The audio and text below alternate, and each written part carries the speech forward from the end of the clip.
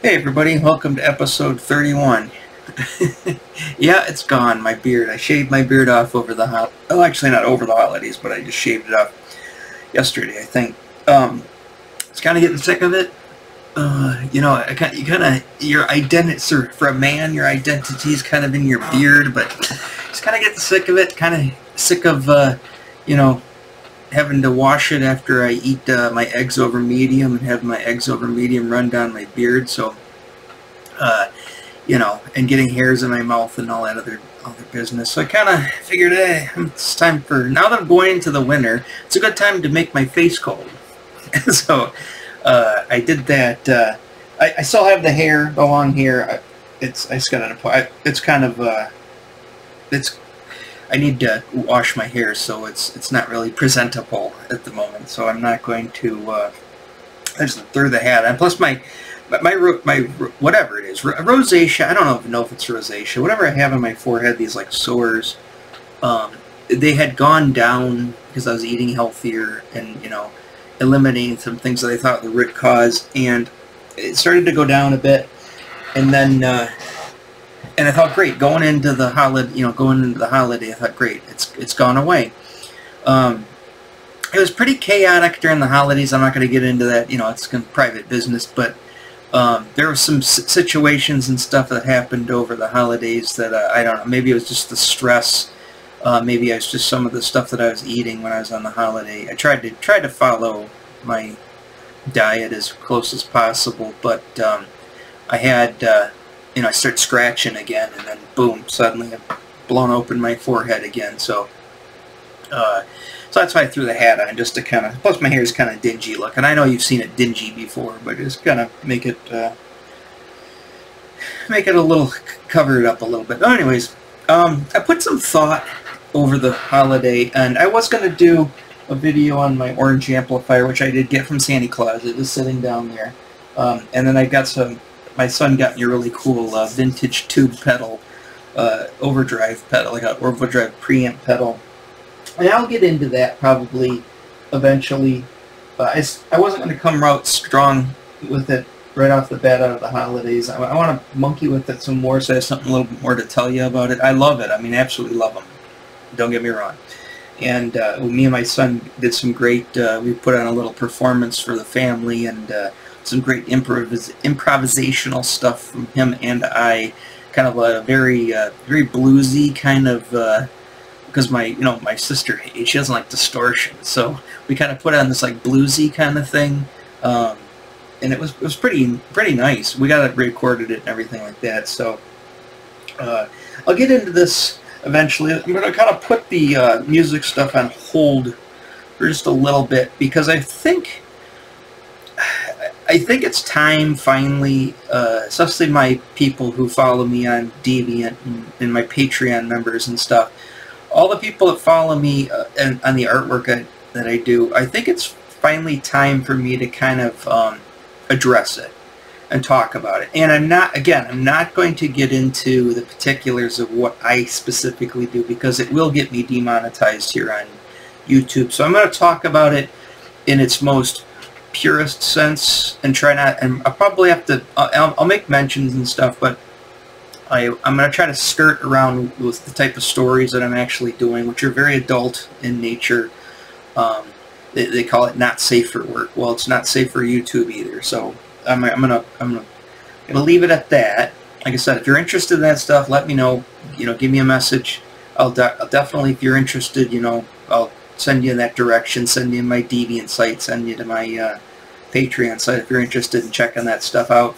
But again, I'm not really going to focus, hyper focus on that. Um, so I'm gonna I'm gonna talk about this creating comic books in a uh, in a pretty general sense. I'm gonna everything that I love and do, and and all of the stuff that I, I mean everything about it. I'm just gonna we're gonna go to basic uh, comic book action and storytelling, uh, you know, especially the superhero stuff, to kind of convey what I'm talking about as opposed to um, the kind of action that goes on in my stuff. So, I mean, there's fighting and stuff like that occasionally, but um, it's other it's other other acts of uh, people versus people in my uh, in my comics. So I'm gonna, like I said, I'm gonna talk about this like I'm back in, you know, I've got the knowledge that I have now, but I'm, how I would have approached it back in say junior high.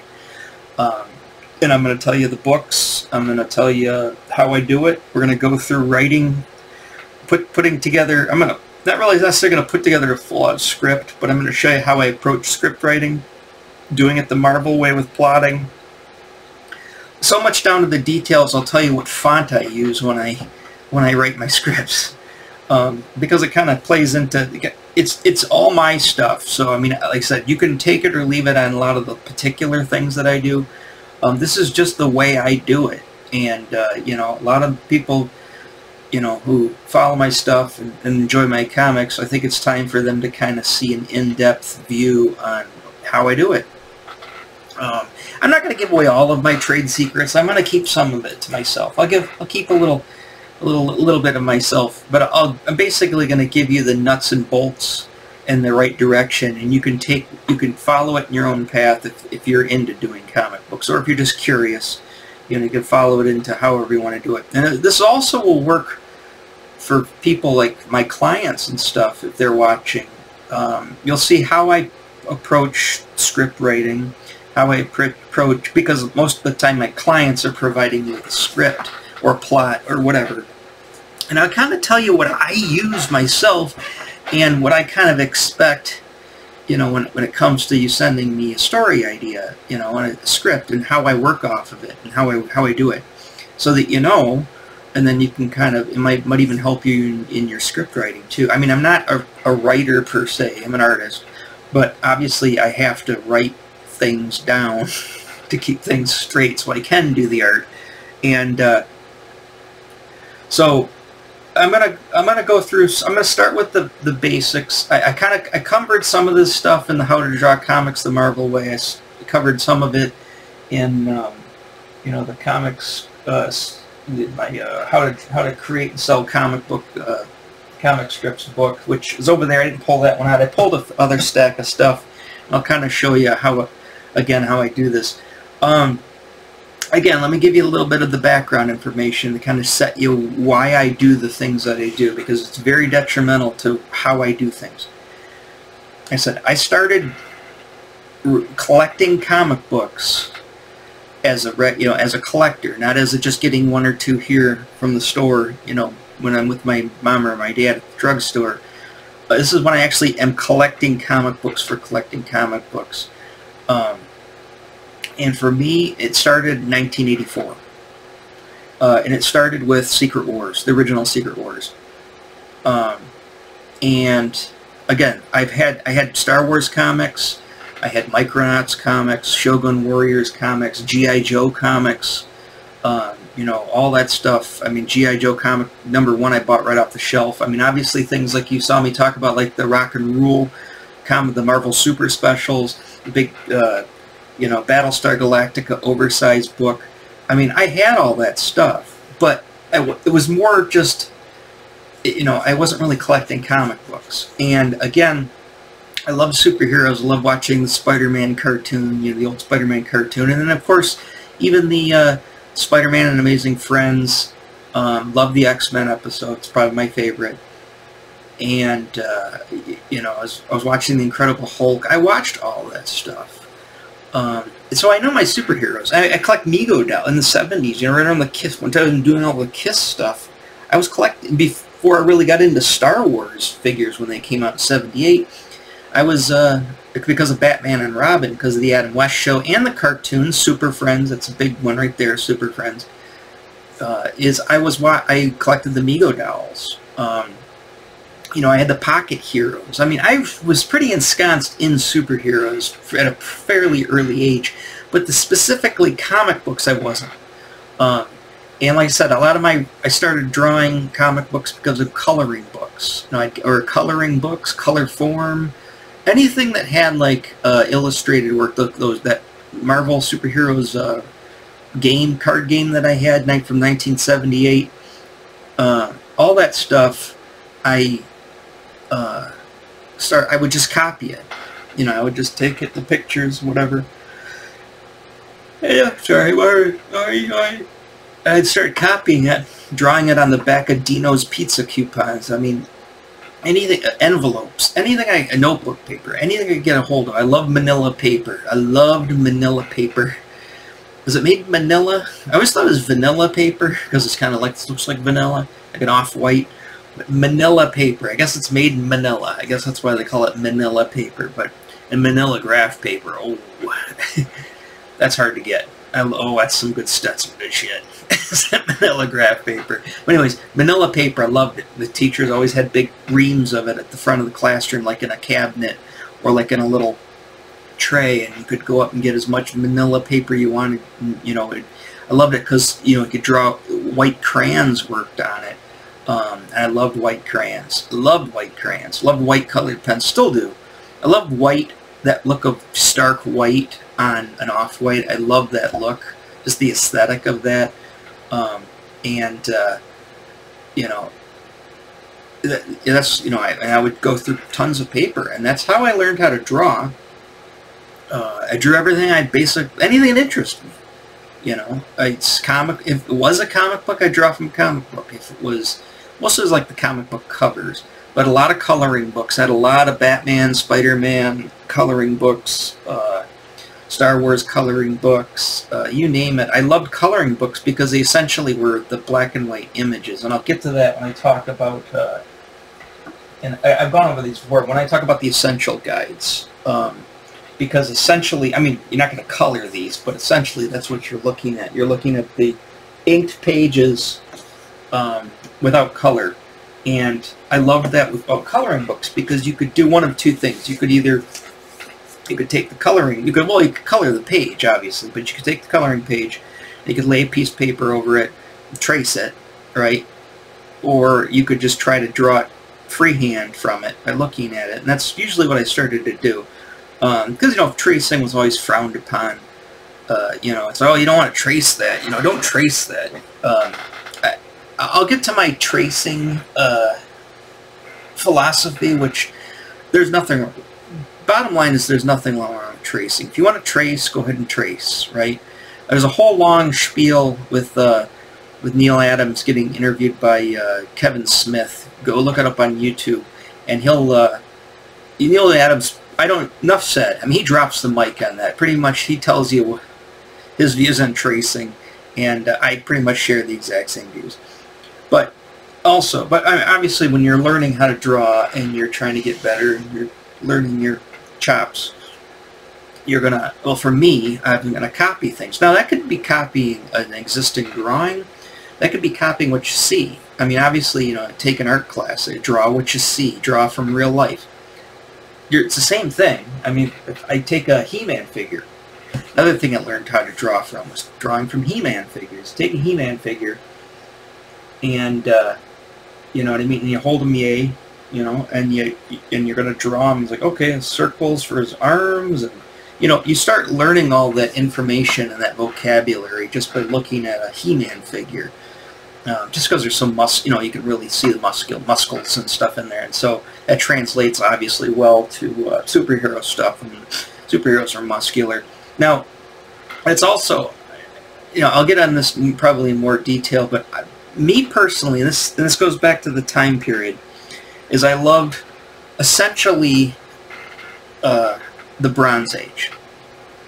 Um, now, granted, I started collecting comics at the very tail end of the Bronze Age, 84. So 84 is the last year of the Bronze Age. However, my love of comic books for the most part, because I'd go and get back issues, and a lot of those, like I said, a lot of those those uh, uh, those toy licensed comics were all from the Bronze Age. Is um, I love the Bronze Age, so I love comics from say 1970 up to 1985, which covers all of the 70s. Um, and there's there's a few particular things about that time period, especially when it comes to comics and just visual art, graphic art in general, is everything has a very 70s feel to it. You're probably asking yourself, what's he talking about? Um, people, the, the way they draw hair, the way they draw outfit, you know, clothing, Um, they would, they people would stand. Uh, I mean, a lot of people today draw, you know, that that's what they learned how to draw too. So that, that stuff still exists. But this is, I guess, bottom line is it's way before anime and manga and the Japanese style had had had, had creeped into how Westerners draw. draw. They were drawing in, in the classical sense. And the way they approached drawing superheroes and drawing just people in general, um, you know, and we're talking about figures here. I mean, I, I can talk about drawing buildings. I can talk, and there's there's a degree of that too as well. I can talk about drawing cars, drawing interiors or room settings, because you got you got to draw some of that stuff there's a ways around of drawing it elaborately, and I think a lot of people get bogged down in that too. I don't. They need to go back and look at the originals because you look in a an older, like a 70s comic, or even even a Silver Age comic, or even a Gold Age comic. I would say anything up till say modern period. You go and look at those comics, and there might be an establishing shot of a building. Let's say it's a brownstone in New York, you know, and Doctor Strange is going into his sanctum sanctorum. You know, they're going to show that scene. Or maybe somebody drives by in a car, you know, or drops somebody off in a car, right? But once we get past that, once we get past we've established the setting, when it comes to individual panels, there's not there's a lot of panels that just have no background. But it's we still know it takes place in that room. Um, so if he walks into his sanctum sanctorum, right, and he's interacting with somebody. And uh, you know and, and the camera is hyper focusing it's almost like a, a deep focus or not deep focus um, like a portrait view where the figure is what's in focus. The exterior is kind of abstract at that point. So the simplification of that Kirby did it well. Obviously he was a master at it. A lot of those older guys would do is they would just not draw it. They'd make a color something that doesn't clash with the figures, something that kind of, it's either a warm color or cool color, but it's, it basically they left it blank, and the colorist would come in with a color. And I'll tell you how I how I approach that as well. But you know, if somebody they might interact with an object. So if you're, you know, but if you're you got this big panel where somebody's sitting on a couch talking on the phone, which you know back in the day they'd be talking on the phone, you know, and uh, you know, and somebody walks into a room, you know, and you can see them walking through the, the threshold or through the doorway, right? You'll draw that, right? But then when you switch to like a close-up of somebody talking to the other person, right? You're going to get a head and shoulders shot. There's no reason to keep drawing that background. Don't even do it. Hyper focus on the figure in, in that too. If you're drawing like a medium shot, uh, you know, again, if if if you want if it's action or something's going on in that panel and you really don't want it to to, to you know to uh, clash with the background. The thing is drawing the background in every single panel just a it takes time very tedious. Remember a lot of these comic book artists back in the day they needed to get the shit done quick. So they would just whip the stuff out. And uh, you, you didn't want to sit there and be tediously drawing every single panel have a background and that also goes to drawing uh, how you pace your, your, your pages and your panels. You don't want to have, you know, you don't have to draw every single move. It's not, you're not animating here, right? You're cutting from scene to scene, and you might only have two panels in a room where people are even in this room talking, and then maybe they're maybe they're going to talk, or maybe something else is happening too, right? You're going to cut down to some complete, or, or skip forward in time or go back in time. There's no reason to have like three solid, if you're only three solid pages of talking heads in a room and you're drawing every specific like movement, right? So you're drawing six panels on a page and you're like, this person turns to talk to this person. And this person, maybe they get into a fight, right? And it's just like, that's okay three over three you go over three pages of that specific scene you're pushing it and even three pages itself unless you have a lot of like I said you want to keep a lot of those fast moving panels or skip forward a few minutes in time you don't have to have it X you know the camera doesn't have to follow somebody exactly you know the person walks into a room cut right you, you know, the next panel, somebody walks into the room, there's somebody there he's going to talk to, right? Cut. Talk. The person talks, saying saying something, some dialogue, right? And then the guy responding. Cut. Right. You don't have to keep going, panel after panel after panel after panel of you know, just like you're like almost like it's a, a handheld camera and you're following the action. You know, and it's all in one take. Um, I find that boring I find a lot of the comics that are, it's like you, you read 20 pages of comic and it's like, you know, nothing really happened. Sure, sure, some things were said. Sure, somebody might have, you know, had a, had a little kerfuffle or something. But really, it's just like, I don't want to, and here's the other thing, I don't want to read 20 pages of somebody in a coffee shop talking with their friend, you know, about some subject and there's no action, there's no, you know, nothing. You know, if they're talking about something, hey, maybe a flashback and show like that scene. Some way to break that up, to cut that up. Again, I'm, I'm kind of jumping into things right off the bat, but I'm gonna. This is the type of video. The I'm gonna do a series of these. Um, they'll probably be long videos. I'm already gone 20 minutes into this one. Try to make hour-long videos, and uh, and hopefully I'll be able to find a good place to kind of cut them. And I'm going to do a few of these over the next few weeks. Now that it's 2024 and uh, and really get into you know how to how I do comics. Um, so if you're here for the Kiss videos, if you're here for the you know whatever, um, you're probably not going to get it. So I might lose some people, which is fine.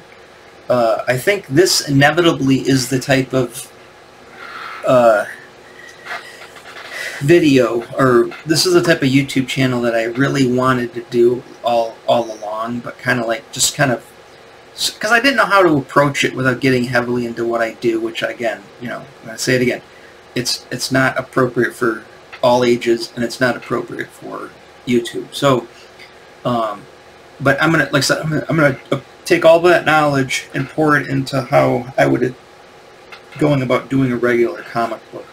And I'm gonna use a lot of Marvel examples because, like I said, I was a Marvel kid. I mean, sure, there's some DC stuff that I love. Love the Super Friends, love Batman, but for me, when it comes when it came to really focusing on comics, uh, I'm a I'm a Marvel guy. Uh, so I'm going to kind of use them as an example here. So the first thing I want to do is I want to show you some books. You've probably seen some of these I've showed before. This is the Bible. It's not the best book. And the thing is, don't use this book as like an all all-out handbook or guide. This is basically um, and if you like this specific style and this specific time period, this was written in 1978. And uh, it's written by Stan Lee and John Buscema, or Buscema, how do you say it? Probably my all-time favorite uh, comic book artist next to John Byrne. Um, but uh, I'm going to go through here and I'm going to show you, um, sorry, I'm going to I'm going to kind of follow this stuff because a lot of this stuff I don't use because I work 100% digitally. So in order, so in other words, I'm, I'm going to skip sections on um, you know traditional drawing material. I don't use it anymore. Um, and really, my honest opinion is, I mean, if you draw that way, that's fine. Um, but I highly suggest, and again, this is just my subjective opinion, I highly suggest you move to one of these guys. This is a Wacom here um, move to a drawing tablet uh, and use your computer. In this day and age, a lot of times comics aren't even going to print. None of my comics are in print. All my comics are digital. Um, and that's how I sell them. That's how I do commissions. That's how I, you know, post them, everything. All my You can print them out, sure. And I was going to try to do some printing out. I, I experimented with stuff, and I have had comics printed before. But by and large, if you want to make this for mass consumption and you want to get your comic book out on the web and you know try to find a following and try to get people interested in your stuff and maybe make some money out of it by monetizing it, don't even waste time with paper and pen. Um, because it's expensive, it's messy, it takes up space, you're going to keep running out of stuff that you have to keep going back to the store to get. I never run out of paper. I never, my pens never dry up. My pencils never break. this is this as I've had this new Wacom now for a year because almost exactly a year, and I'm just starting. Can't probably can't see it. I'm just starting to. I can't see it. Doesn't focus on it. Just starting to finally wear down my my nib. These nibs last for a very long time, and I got a very heavy hand. Trust me.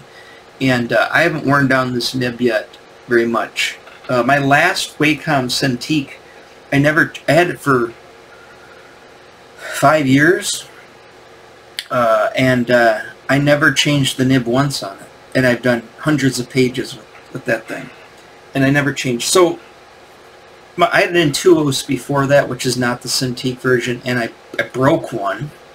Just came apart on me. And I used to change the nibs on that more frequently because the surface of that Intuos was different than the surface of these Cintiqs.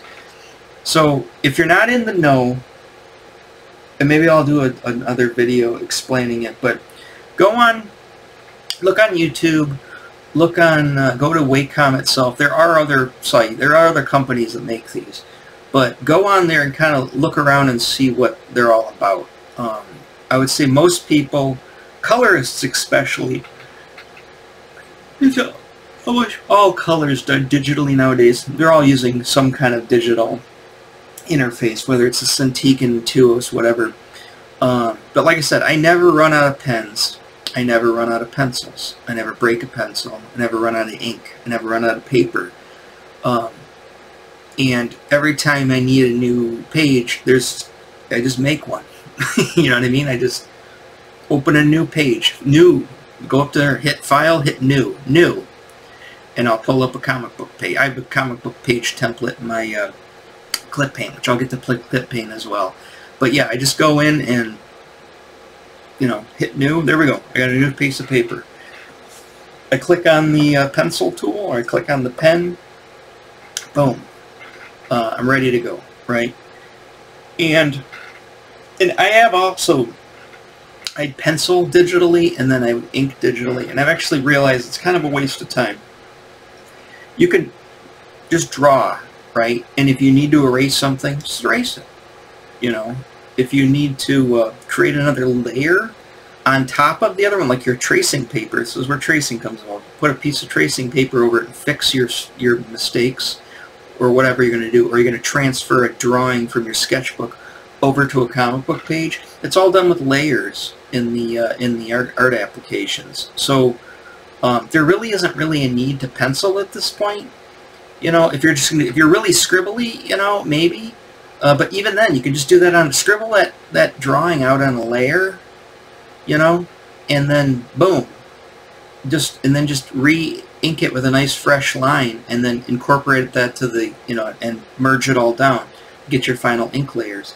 Uh, there's really no, no reason to do it the way I was doing it. I just how I, in my head I just thought that was the way to do it, and it saved me so much time doing it than doing it without doing those two steps. So I'm just creating what's called line art. That's the black and white line. And to create line art, you don't need the pencil and ink. Obviously, I want to use an ink tool to get a sharp, crisp line, but that's my end tool. Or sorry, that that's my main tool. So I could, you know, if, if I need to take a draw, take a drawing or take a face or take a car or something that I want to tra trace through into the panel, I can I can set it up, you know, on a layer, and then I can just take the ink and ink and trace that car, trace that building, trace that face, trace that whatever I want to, trace it in and match it to the drawing that I've already got done. And I'll show you how to do that um, and how I do it. But uh, yeah, you know, basically it doesn't really matter what you're what you, how you're coming up with your panels in your composition the final line art that you want to produce um, is obviously you want to use the ink tool because you want thick and thins and you want it to and you want different line weights and I'll show you how to do all that. You want it to um, you know to uh, that's what you want it's your end game right? Whatever's under whatever hundreds of layers you got underneath there to get to that point it, do, it doesn't really matter. What you want is that final layer. Uh, so again and, and to do that traditionally would be a lot of scrap paper, a lot of you know trace retracing, tracing over. It'd be a lot. It'd be a lot of work. Um, and then once you've laid it down onto your comic book board, if you wanted to change that panel, right, you're kind of screwed. You kind of have to, you know, it, it's it's too. And then there's obviously undo is a big deal. Being able to undo mistakes, undo things, erase ink without even a you know a blink of an eye. You know, being able to select things. That, I mean, there's I, I could go on forever. There's so many advantages to drawing with a computer than there is to draw traditionally, and uh, I highly suggest you do it. So, if you skip books like this, you know it's it's okay to, for just for your knowledge to know that stuff, but you really don't need any of that stuff. And I don't and I don't have it anymore. So so there's that.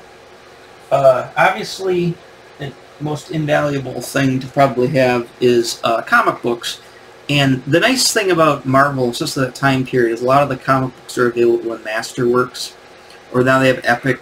They have, now they even have the, their new cheaper. Like these weren't that expensive. This is a, volume one of Spider-Man's. Uh, I think this this was 25 bucks. I think you can get the new version of it for 15. I think it has the same issues in it. First nine issues. Well, yeah, there's nine issues of Spider-Man in it. Um, I think that doesn't have the. Yeah, it does have it does have Amazing Fantasy in it, and then it has uh, one through. Can't even see it. It's got issue one, two, three, four, five, six, seven. Sorry, it's missing seven. Why is it missing seven? Eight, nine, ten. Okay, whatever. Regardless, uh, it usually has about yeah about 10 12 issues in one of these. And you like I said they're starting to put these out. They're redoing the reprinting these in paperback form now. They're less expensive and they're like 15 bucks a piece. And trust me you don't want to go back and trace check unless you're really into comic book collecting for the value you don't, you don't want to go back and chase down back issues of these comics because they're extremely expensive. And frankly you know they they're you know you're gonna get the the newsprint and you're not going to get you know a, a good clean crisp uh, version of the panels. And like I said there's a lot of people that don't like these. They think that they're too oversaturated. They think that they're too whatever fill in the blank. But from an artist's perspective and if you're specifically going in wanting to draw comic books you need to see that clarity.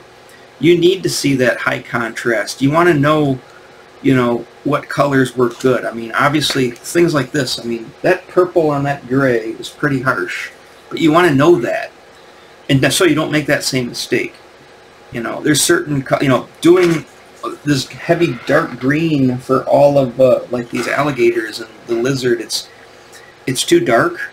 Um, and you want to see what that looks like. Now, there's also things you got to worry about with drawing. Now, I have not color calibrated my Cintiq.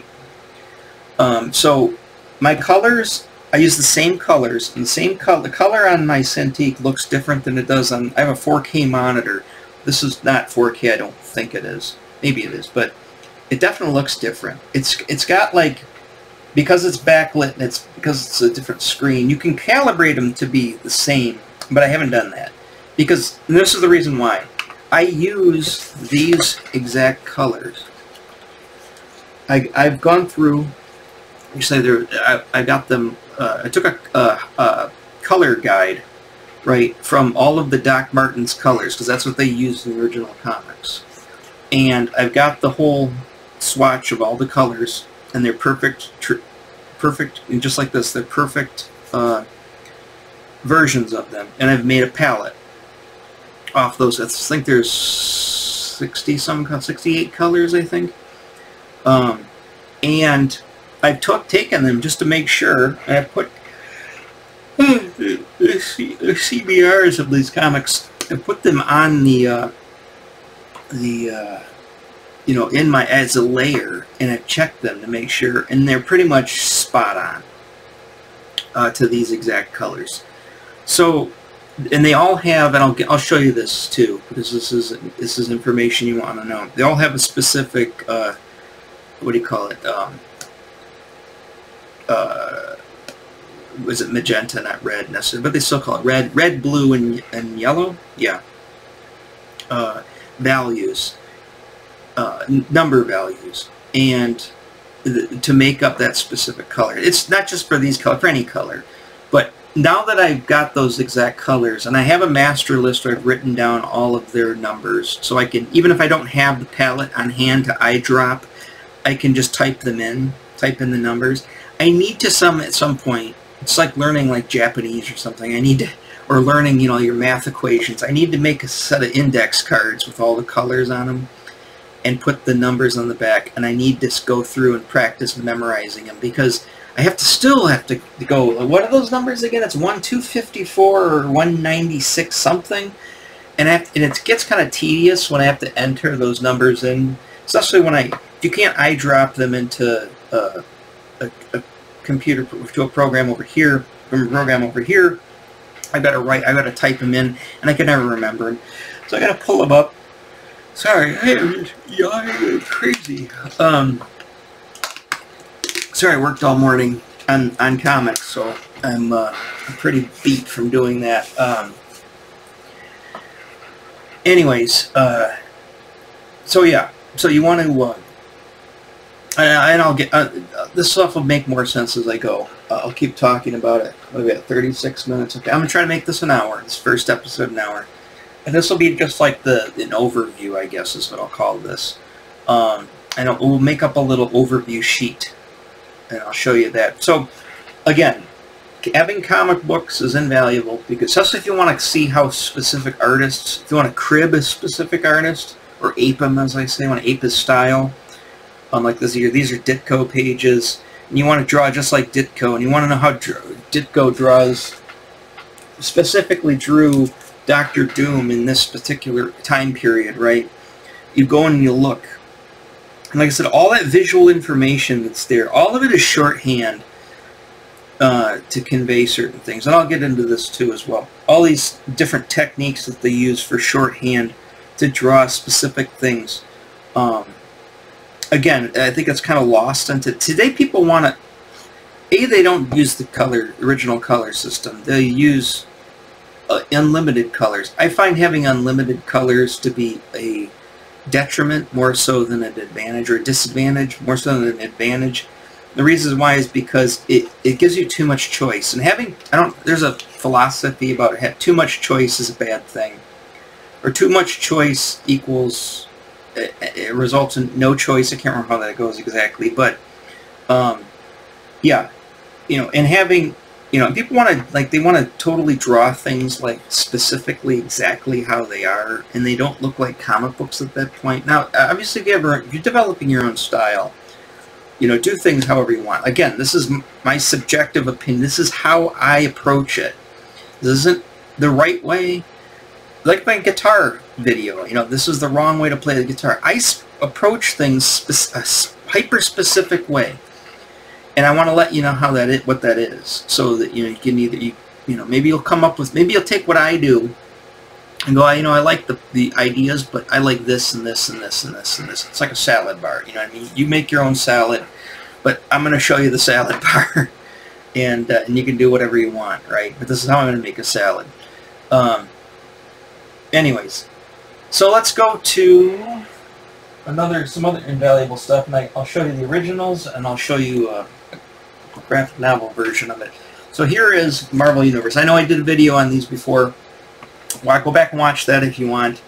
Um, it's basically a character catalog, uh, but they're by the specific artists from that specific time period. So when I want to draw Scarlet Witch to look like that, which is a John Byrne drawing, I'm I'm not gonna probably not gonna draw her specifically, just like John Byrne. If you notice, John Byrne, a lot of his faces look the same a lot of uh, John Buscema's faces look the same. A lot of Jack Kirby's faces look the same. You know, they, they basically they're just drawing an ideally idealized version of whatever person it is. In this case, Scarlet Witch. So an idealized female, you know, of a certain height, you know, and of a certain build, and you know, basically it's just a mannequin at that point. And you know, you can you you know her because of her hair color Scarlet, obviously. You know the style. You know because of her her uh, head headgear here. you know, because of the way her cape is, you know, her bodysuit, you know, her she's got like that uh, bodysuit underneath it, and then like a leotard on top. But she's got these specific gloves, specific boots, everything you know. But essentially, it's all on the same a mannequin, and I'll, I'll get to that, and I'll show you how that's done too. How I approach that, and there was a, there's an old way of doing it, and I obviously just like the, the pen and paper, I've thrown out the old way to do it for a new version that has a lot more advantages to it than the old version. Um, but yeah, so if I want to see how these characters are drawn, I'm going to look in this, uh, you know, or maybe the, but around this time, you know, either She-Hulk or the cover. So, again, one of my favorite, if not my favorite, Marvel character. Um, again, I love the ladies. I, I think I've gone over this before, you know, and I, I usually, you know, I, I'm partial to the female characters. You know, I still love my Wolverine, still love my Colossus, I still like my dudes, right? But when it comes to me drawing and doing my stuff that I do, I obviously focus on the ladies, um, and uh, and I have so for a very long time. Uh, and these are probably right about the time that started was getting these specific comics. I mean, seeing this drawing of um, of Marvel Girl in this specific outfit, uh, that did it for me. It's like, oh, I love that. I, I want to draw just like that. I want, I want, I want to draw those characters.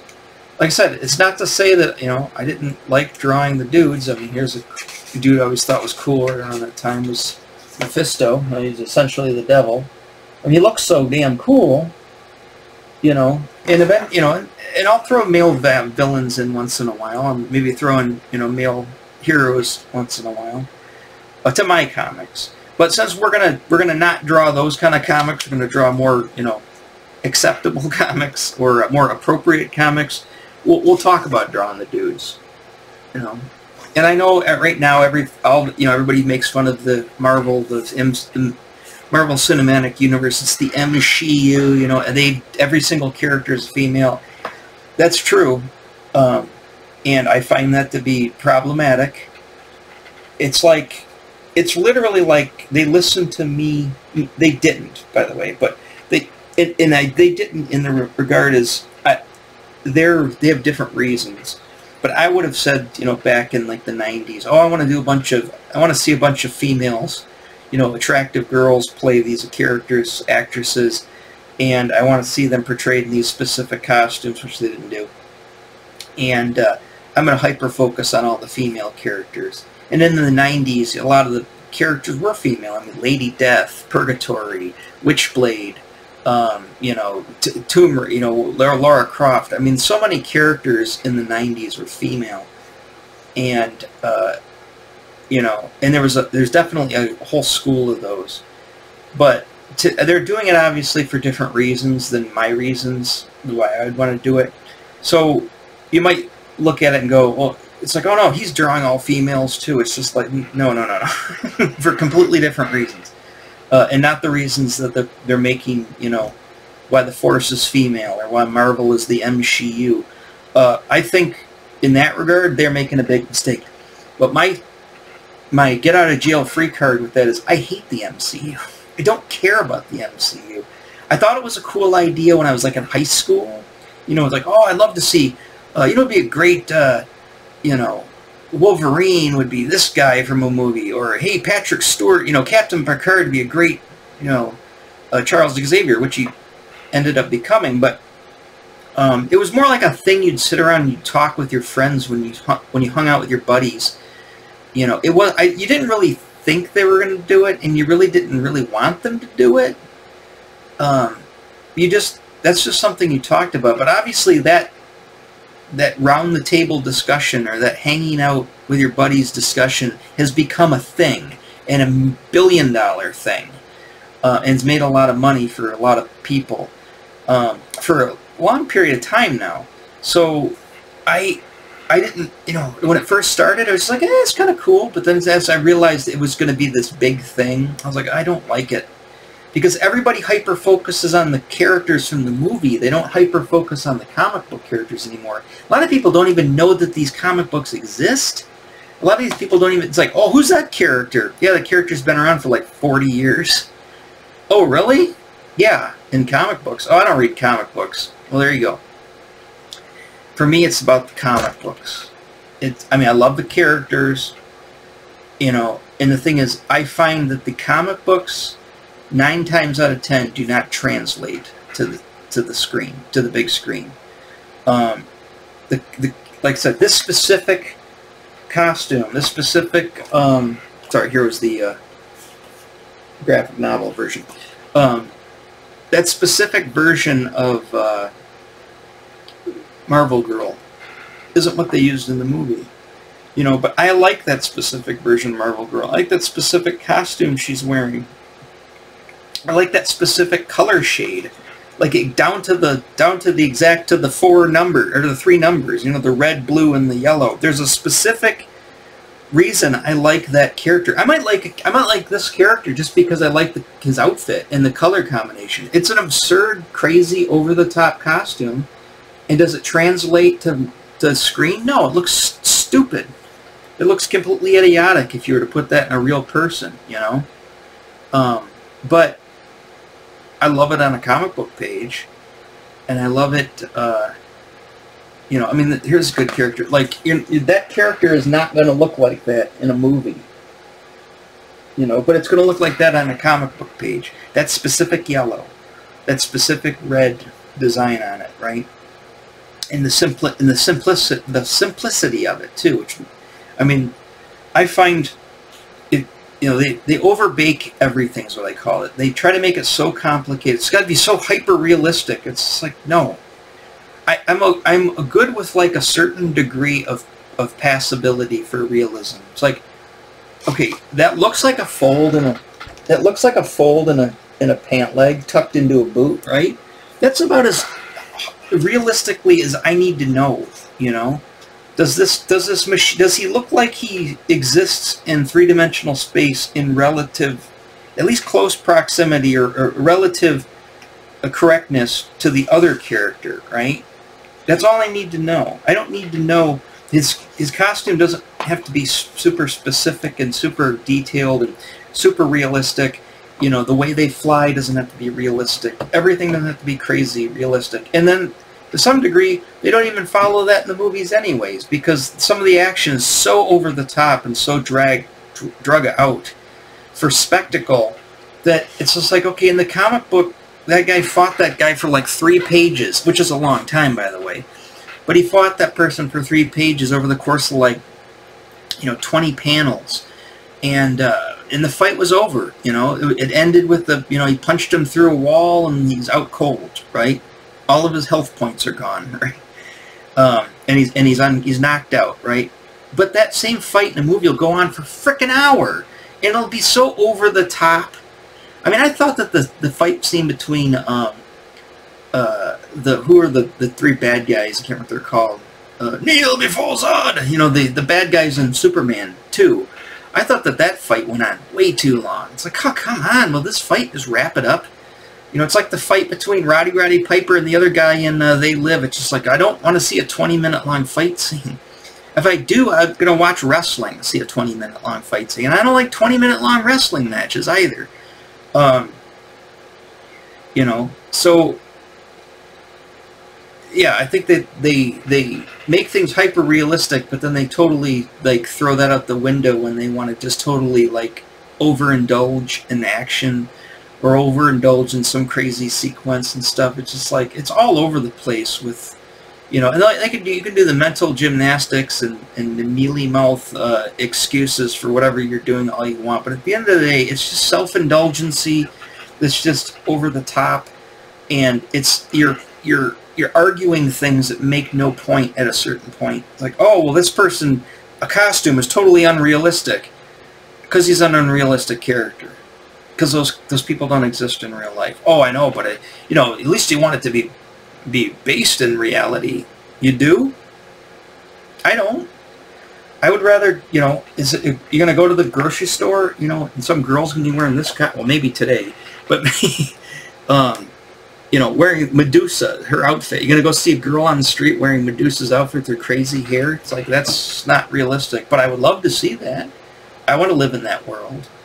Um, but so yeah, so people, uh, the whole realism thing is just it's moot when you're talking about comic book movies, because uh, comic books aren't realistic. You know, like I said, so a, a, a small degree of believability, so I know that something, you know, and like I said, there's a lot of shorthand techniques for conveying that information. It's, it's real to make it look a little bit more real. Um, and Marvel Comics has always been the big, you know, age-long uh, argument between the two comic books. Is you know, DC's a little too out there, and uh, Marvel's grounded in reality. And you know, you, you probably know what I'm talking about. It's they've said it in multiple you know, interviews and documentaries and stuff. And I understand where they're coming from with that. And yes, I believe that type of realism is is a good idea. Um, you know, I also think, you know, like I said, with the whole cra- I, am going to get into this craziness with the, with the MCU, but let's let's let's take let's leave the MCU. Let's talk about the comic books. Even in the comic books, it's just like, oh, there's, you know, there's there's more gay gay, you know, LGBTQ crowd is, uh, you know, more prominent these days. Um, so we want to see more representation. I don't really have any problem with that, you know. But you got to realize, certain it, it depends on what you're doing, and it dep- everything's got a specific situation. If you're just doing it to, to because you have because you want to make a point, I mean that's fine too. You have the you have the you know right to do that. But you know if that turns people off and you're not selling books or nobody's you know you know, if your whole point is to make money at it, you're not making money at it because you're not creating or writing the type of stories and characters that people want to pay money for, you, you kind of have to right the ship. I mean, I'm guilty of it. I, I, I, I just went through a of my last issue of my comic. I think I went a little too self-indulgent. I was steered off course and started making characters and stories that I don't think people wanted to see as much as uh, some of the more, you know, traditional stuff that I normally do. So I'm I'm steering the ship. You know, I'm I'm I'm trying to I'm following the money. You know, I mean, I love doing it all, and you know, I can be self-indulgent.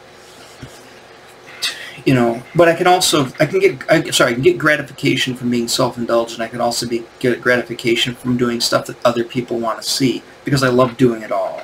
You know, and if it's especially if it's grounded in stuff that I absolutely love, um, I'm at the end of the day, I've got a grin on my face from ear to ear doing it. So uh, that said, we'll kind of leave that at that. I, I, it'll probably come up a few more times. Oh my god, I tell you, me without this beard, ugh.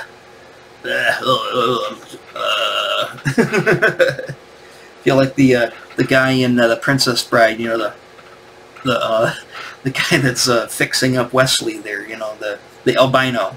feel like the albino. Anyways, uh, my jowls shake as I move my head. Anyways, um,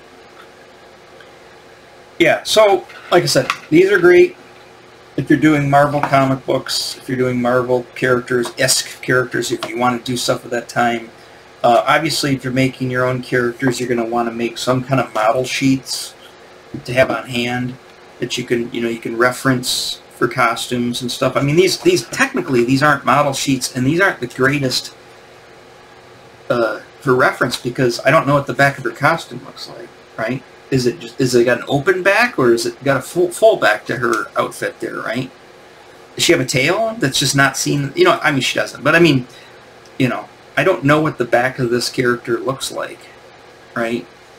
Because this is this isn't the best, but that's where your creativity and that's where your artistic ability has to come involved. You can either hunt down pictures in a panel in a comic book to see what the back of that characters look like. If you have an action figure of it, that's always great.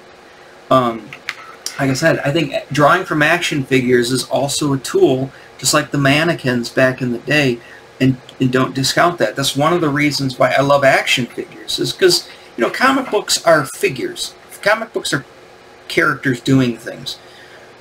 And, you know, if you can, if you can get an action figure of a character that you want to do, you know, buy the action figure. Buy the Marvel Legends. I got plenty of them out there for different characters. Uh, you know, I got my, ro uh, my road floating around somewhere. Yeah, I keep pulling them out. Here, look at that. If you want to draw a Warduke, you know, in a comic book, there's your Warduke, right? You have a Warduke, and you have a cell phone, right? Right now, you've totally bypassed, you, you've got more technology involved right here than I ever did as a kid, right? I never had, I mean, I had a Warduke figure, but the, it was not this detailed, obviously, right? I want to draw a Warduke. Okay, well, pose Warduke how you want to pose him in the comic book, right? What is he going to look like? I need. I, I don't want to sit there and just draw from this. It's hard to see. You don't have to. Right? Pull up your camera on your phone. Right? Use it as a picture plane. Use it. Use it as. Use it like you're drawing a panel. Hey, I'm to draw Warduke looking over his shoulder, or looking over Warduke's shoulder at some guy as he's just about to, you know, step on him or, or uh, you know, stab him, or he's just stabbed him. Right? and I want to see him from a, a, a, bird's eye view, and I want to see him, you know, I want to know how short, short or how small his feet should be, right? I want to draw him so his head looks big. It's like, if I had to freehand draw that, that'd be a pain in the ass, but guess what? Well, you might not want to do it cast on top of a comic book. Use like a white piece of paper or something, or you can even build yourself a little mini photo booth for these guys. Um, you know, hey, I want him in that exact pose, right? Boom. My, my, my, I got a Samsung Galaxy. It doesn't take the best pictures. There you go. I've got him in that. Now I've got him in that, right? I can take this picture, cut him out. That's why you do him against a white background. It's really easy to separate him. And just drop him into a panel. Size him up right? If you want his helmet to break the top of the panel to be more like he's coming out of the page, you can do that, right? You want to know, you know, your panel's roughly that side. Maybe you don't like them at that, maybe it's you don't like them at that Dutch angle like that. Maybe you want them more straight up. Maybe you want them back a little farther. But you've got that image now of him looking over his shoulder. And you can see, because it's a great, you know, it's a very detailed picture, I can see all of the detail. I can see how the light hits it. You can even get lighting and, and light him up. You know what I mean? So you get dramatic lighting. Uh, you have everything you need to draw that figure right there in that specific panel, right there. And here's the here's here's here's the here's the big secret. This is this is the big uh, secret sauce. You can trace it. I'm going to draw a Warduke, right? Why would I spend time trying to redraw this photograph by hand? when I could just trace this, right? I want to draw him from the front. I want him to look exactly like this figure, right? Just trace him. I mean, this is a pretty detailed figure. This is a is pretty damn nice figure. It doesn't look like a toy. It's essentially it's a statue that's posable. Now, he's not super posable, so don't expect to put him in some crazy poses. But, you know, if you want him to to be Warduke, I mean, you put an actor in this costume and you try to get him to to be, you know, he's not going to be doing jumping around crazy kung fu, right? He's going to be cumbersome and lumbering around, right? But that's what you want. You want you want hyperrealism, right? Well, there you go. Okay. Oh my goodness, there's Warduke. Oh, he's looking up. There's a big Tiamat's up there. He's looking up at Tiamat like, I'm. Oh shit, I gotta fight Tiamat, right? Well, there you go. Look at that. That'd be a great. That'd be a great uh, uh, full. What do you call it? Splash page right there. Splash page of of him looking up like this at the camera, right? And you've got your captions. He's saying, you know, like, "Ah, Tiamat," you know, like that, whatever. And uh, then you you draw like a cast shadow around him of Tiamat. So you don't really know it's Tiamat that he's fighting, but he says Tiamat, and he's obviously reacting to it. And boom, there you go take pictures of all that. You got a Tiamat, they make a Tiamat uh, miniature that's pretty pretty nice and detailed. You know, uh, you could do that. You know, if you need if you need Tiamat for that type of thing, you could do Tiamat versus uh, Warduke all day long. I mean, you don't know how. just to just to say those words, Tiamat versus Warduke. That's that's going deep with me. I mean, that's hitting all my buttons right there, right? But like I said, you could do that, and like I said, now you can't. Now, obviously, if you trace the stuff, you've got to know what to do. You've got to know how to. You've got to know how to block that shot out. You've got to know a lot of. Sorry. You got to know a lot of different things that take artistic ability to draw, right? And that stuff's only over time, but you're only limited by your own creativity and your own problem solving. Because when it comes down to the end of the day, these comic books. Sorry, it's probably was. I'm at an hour, so I'm probably going to get into everything in this full video. But you kind of know what I'm talking about. Is uh, your um, you're only uh, limited by your creativity and your ability to problem solve. You read the script. The script says, I want, you know, a reaction shot. The splash page, I want a reaction shot of Warduke. There's silhouette of Tiamat, you know, cast upon Warduke as he's looking up and they're getting ready to fight, right? Okay. So, whatever you have to do, whatever handstand, crazy photograph, tracing, freehand drawing, you know, uh, shadow puppets, whatever you have to do to, to make that comic book panel, go at it. Um, you know, and hopefully you're, and, and like I said, just refine that, th refine that final line art to, to represent exactly what that is. And like I said, I'm going to get into the details on how to do that, but, you know, that's what you, that's essentially what you want you, what you want to do, you know, and rinse repeat from panel to panel to panel to page to page to page, boom, you've got a comic book. You've got a comic book or just a comic in general, strip. You know, let's say it's only three page strip, right? With six panels on a page, you're at 18 panels. Okay, to do those 18 panels, I need to come up with what's going to be in all 18 of those panels and follow a storyline. And, you know, I need to draw what's going to be in that. So, that's all it is. I mean, it's, there's no smoke and mirrors. There's no, uh, those are the smoke and mirrors. There's no secret sauce. That's just essentially what you want to do, is write a comic book strip, script or a plot, or at least something tell, telling what's in each panel on every page, and uh, and just come up with the scenes. You know, play with your toys. I'll show you some online toys. We'll get into those too. Some online toys that essentially do the same thing, but again, like the pen and paper, it's unlimited, and I don't have to pay for it to a certain degree. um, you don't have to, uh, you know, you you know, you you don't have to. Um, what am I going to say?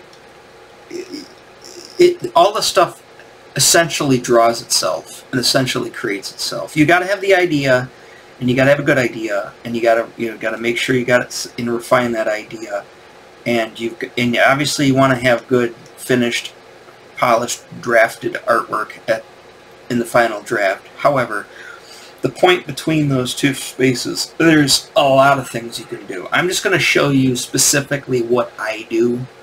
Um, you know, I don't, I do, I, I have in the past, but I don't really use the, the figures that so much anymore because I found an online, alt, or, you know, digital alternative that's, like I said, has a lot more advantages and is unlimited as opposed to, you know, buying, obviously you buy tons of action figures, you can spend a lot of money, you know, and uh, I've got something better than using my cell phone or even even a nice camera, like a digital SLR. It's a great camera, but I've got something that actually works even better than that, and I'll show you how it works.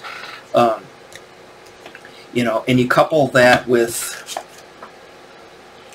all your reference material, whatever you're doing, you know, whether it's, maybe it's DC Comics, maybe it's Image Comics, um, maybe it's your original characters. Like I said, fan art and fan fiction is primarily what I do. Um, and it's very lucrative. There's lots of gray area, of course, with copyright and all that stuff, and I'll, I'll address all of that as well. But um, it's lucrative. It's kept me with a roof over my head and food on my table for the last full time for the last four years, and before that, part time, another six years previous to that, seven years previous to that.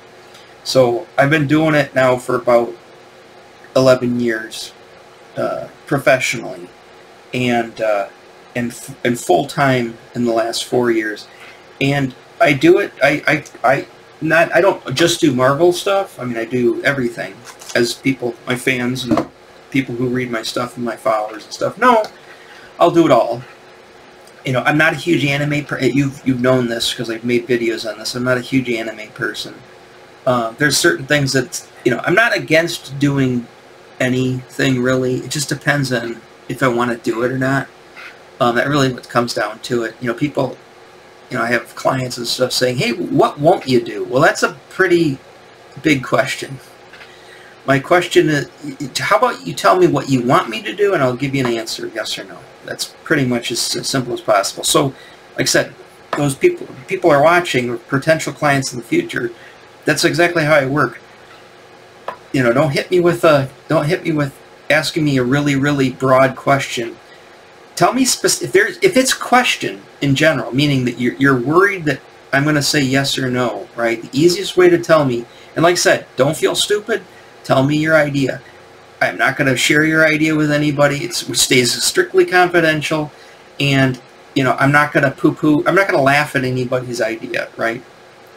Uh, I'm going to, you know, if you say, hey, you want me to draw this, right? And I've got to think about, do I really want to do that? Or can I do that? Or am I, do I think it's going to, I think it's a good fit, right? That's probably the best way to describe it, is, is what I do and the way I do it, is it a good fit for that specific idea you have? And sometimes it isn't, you know, and I'm pretty upfront with people and tell, you know, I'm really not, it's not that, like I said, when you say you're not comfortable doing it, it's not because then it leads to this thing that's like, oh, what's he comfortable with and not comfortable with? It's just like, I'll try to give you a reason, right? Hey, maybe I just don't like that character, and I don't really feel like drawing it for 18 panels, right? So, you know, or maybe it's just like, you know, maybe I that specific situation that they're in that specific comic book, I don't know, just don't feel like drawing that. You know, that's pretty much, uh, you know, I'll, I'll, try to be upfront with people. And, and I, anybody who else is, you know, watching these videos, trying to learn this to do themselves, I would take that same attitude towards it. Is you know, treat it, treat everybody's everybody's idea that they approach you with, every you know inquiry as a potential job, and then just like any other job, sit back and give it a few minutes thought. Do you really want to do that? You know, if you do, green light, go ahead, do it. If you, are like, eh, you're hemming and hawing on it, maybe you need to take some time. Maybe, hey, let me think about it if I'm going to do that, right?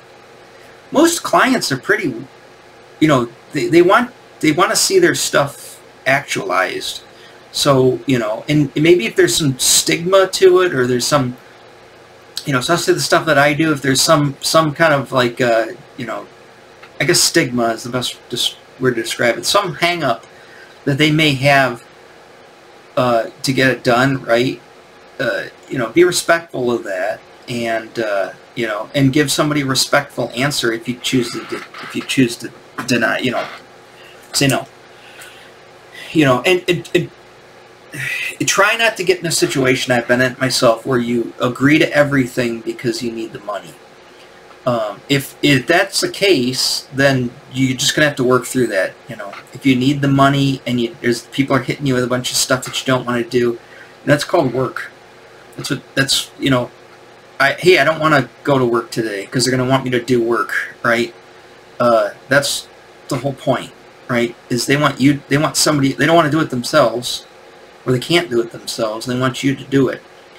And if maybe that means drawing anime characters and you don't draw anime, or maybe they want you to draw, you know, 70s Marvel characters and like, I don't like 70s Marvel characters, right? At the end of the day, if you're starving and you need the money, I would consider doing it, you know? Like I said, my, my biggest beef with things are there's certain things and, and I'm not really going to get into this because like I said this moves more into the inappropriate stuff um, there's certain things that I just do not want to do. Um, and if you, if you, if you, you know, I, I try to put that out as a, as like a blanket statement for people. I used to put it in like, you know, write-up sheets, you know, guideline sheets and stuff like that. I just found it, it seems like I'm being, I get uh, reactionary to it. Uh, it's like every time I find something that kind of like, I didn't want to do. It's like suddenly I'm rewriting my guidelines. It's just like it's a it's a no-win situation. So best thing to do is just listen to somebody's idea. They got a job for you. They're going to pay you X amount of money. You know, maybe you'll do it, but you'll do it for more money than you would do it for something more that you would. Let's say, you know, hey, I want you to draw a Marvel girl. Great, right? I'll be happy to do it. So I'm going to charge somebody my standard rate. Somebody says, hey, can you draw a I'm not that I don't like man thing. Let's say I hated man thing. I want you to draw a man thing and uh, this guy, right? And then be like, hmm, okay. I probably would do it for my standard rate. But I'm just saying, let's say I just didn't want to draw the character, and you, they were doing something that you didn't want to draw them doing, you know, let's say you didn't want to draw Man Thing and this guy to be sitting in a coffee shop for three panels talking about, you know, their uh, their their their slice of life uh, story, right? Maybe you don't want to do that, right? But you need the money. Here's the thing. It's not it's not unheard of to say, hey, I'll do it for a little bit more money than I normally charge, right? I don't really want to do this, but I'm willing to do it if it's if I'm well compensated for it, and I feel that, hey, maybe I need an extra hundred dollars a page, right? The person all I can they can say yes or no. Just like when you say yes or no, to, it, it, this is a it's a it's a back and forth here. Hey, will you draw this? Yes or no. Hey, I'm going to charge this amount of money. Yes or no. You don't know until you ask. So I'm going to leave it at that. Sorry, I covered a lot of things, but that's pretty much an overview of it. I'm going to get into drawing pages, scripting, paneling, line art, how to block shots out, you know, inspiration, where to, what to draw, how to put the, how to literally letter the page, how to put the comic books together. I'm going to go through all of that in a series of videos. This is just kind of my overview of that. Again, I've already gone over an hour. So I want to kind of make them an hour-long chapters. Um, so the first thing I think I'm going to do in the next video is we're going to talk about the script. Because that's, well, the plot, the script, the the very first thing you want to look at when you're creating a comic. Um, and uh, and we'll go over that in the next videos. Okay, so if you like this, like and subscribe. Um, if you know somebody who wants this information or it's valuable to somebody else, sorry, let them know it. Sorry, I'm hiccuping, yawning, falling apart here in an hour, talking to myself. Um, so all of that stuff, we'll uh, we'll address it and uh, and put some, you know, like I said, you guys want to, if there's certain things you want to know about in, give me messages and stuff, and I'll try to cover that stuff in the uh, in the videos on this. But I'm going to do, like I said, I'm going to do a specific docu-series or whatever, or tutorial series here, um, and to the best of my ability, because like I said, I'm not, I'm also a terrible teacher. Let me just put that out there. I'm a very terrible teacher when it comes to explaining things, so keep that in mind as well. So if you need clarification, send me a message and I'll try to clarify it on, I'll try to clarify it in the video. Um, but uh, yeah, hit me up with stuff, and we'll see how this goes. I said I've been wanting to do this for a very long time, just always been hesitant, so I'm going to give it a, just like me starting a YouTube channel. Want to do it for a long time, was hesitant, so I'm going to dip my feet in this and see what happens, and see uh, if it's, if it's, you know, if it lands with people. Alright, I'll let you guys go, and I'll see you on the next one. Bye-bye.